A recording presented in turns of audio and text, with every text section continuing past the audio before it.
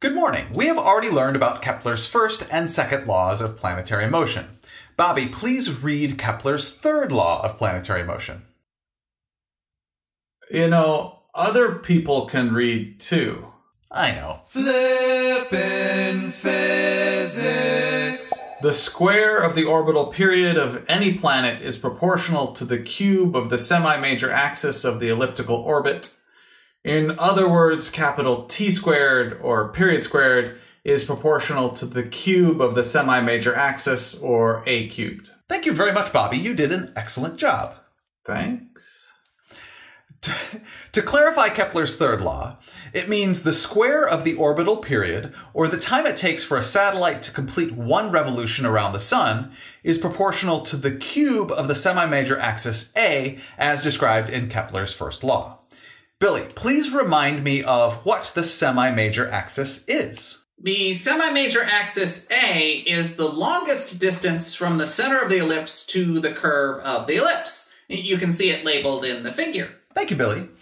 More specifically, Kepler's third law, an equation we will derive in a future lesson, states that orbital period squared equals the quantity 4 pi squared over the quantity the universal gravitational constant times the mass of the primary, all times the cube of the semi-major axis. Primary? What is the primary? The sun is the primary of the solar system. The primary is the object at one of the foci of the ellipses, right. Which each of the satellites trace when they orbit around the sun. Thanks. You're welcome. Notice all the quantities in the parentheses in Kepler's third law are constants. Therefore, the orbital period squared is proportional to the cube of the semi-major axis. To illustrate Kepler's third law, let's look at data for the planets in our solar system. The units on the semi-major axis are astronomical units or AUs, where one astronomical unit is the average distance between the Earth and the Sun. AUs are a useful distance measurement when discussing celestial objects in our solar system. The Hold orbital up, Mr. P. The semi-major axis is the average distance between the satellite and the primary? Yeah, sorry, have I not mentioned that before? No, you have not mentioned that the semi-major axis is the average distance between a satellite and the primary. That's cool. I agree. And now back to the table. The orbital periods are in Earth years, a logical unit of time in our solar system.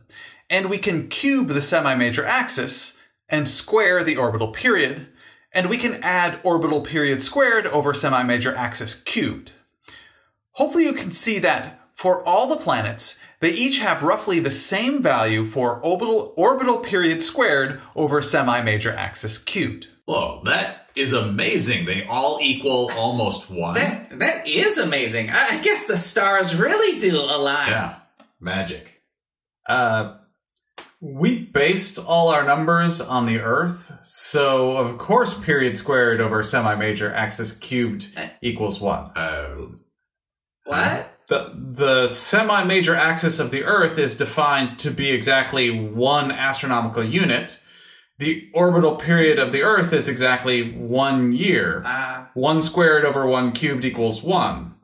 And Kepler's third law states that all the planets should have the same constant value for the numbers in the parentheses. So yeah, nothing magical. Just we just used units to make it so the period squared over semi-major axis cubed for every planet should equal 1. Oh.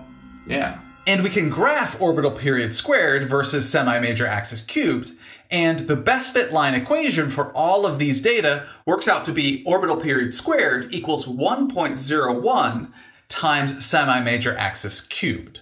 The slope equals roughly 1, as we would expect it to, because we chose units of astronomical units for the semi-major axis and Earth years for orbital period, as Bobby just explained.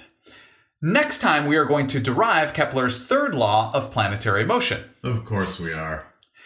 Thank you very much for learning with me today. I enjoyed learning with you.